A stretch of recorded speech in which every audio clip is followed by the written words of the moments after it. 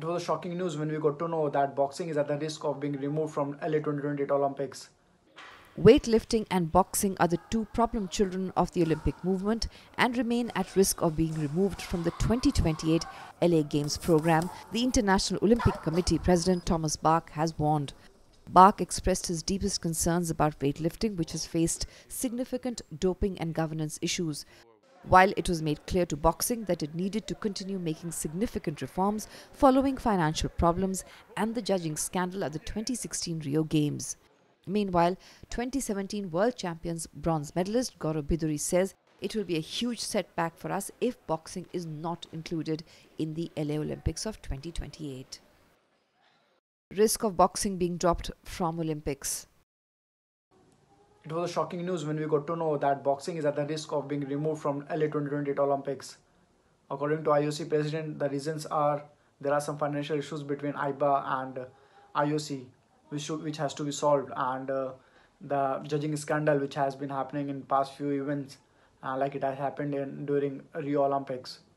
But the good thing is we have uh, uh the IOC has given us deadline till 2023 that uh, the IBA sh should demonstrate that it has uh, successfully addressed uh, the ongoing concern like financial transparency and there should be a fair fight, fair judging during a boxing match. And IBA is coming up with new new rules, new, new regulations, and hopefully we're gonna solve this and we will be there at the Olympics in the coming years.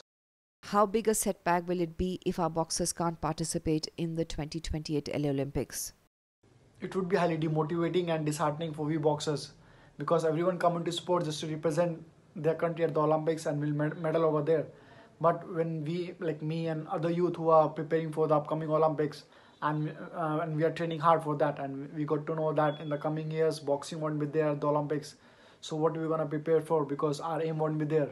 So it would be a big setback for us, and of course for the country, like our boxing is as a, as a sports in India is growing very fast and uh, in the coming years we're going to get more medal and at the olympics and other events.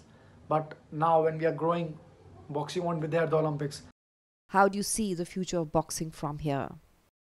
If boxing won't be there at the olympics i don't think the young budding stars going to join boxing. Because they have seen vijender bhai mary kom didi and Lovlina who won medal for the country at the olympics. And they want to become them but how they going to do that?